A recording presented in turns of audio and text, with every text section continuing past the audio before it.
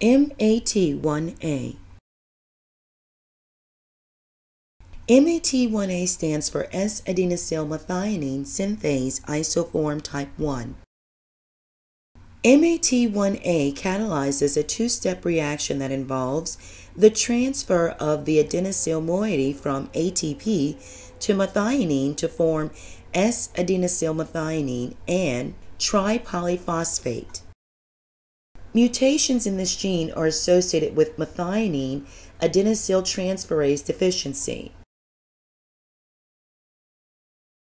The catalytic activity for MAT1A is ATP plus L-methionine plus H2O, which yields phosphate plus diphosphate plus S-adenosyl L-methionine.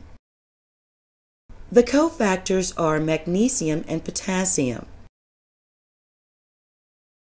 The pathways for MAT1A are amino acid biosynthesis, S-adenosyl L-methionine biosynthesis, and S-adenosyl L-methionine from L-methionine. The molecular functions are ATP binding, methionine, adenosyl transferase activity, and metal ion binding.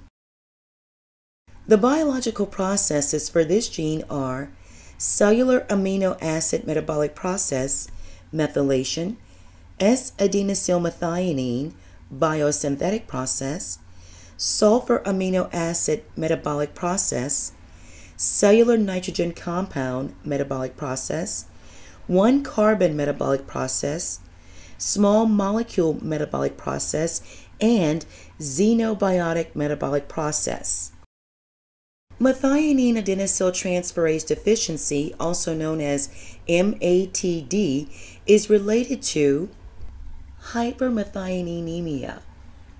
Some neurologic symptoms may be present in rare cases with severe loss of methionine adenylyl transferase activity. Diseases related to MAT1AR, liver cancer, cirrhosis, brain demyelination, alcoholic liver disease, and senile dementia. If you have any concerns about MAT1A, consult a practitioner who understands epigenetics and nutrigenomics. We hope that you've enjoyed this SNP bit.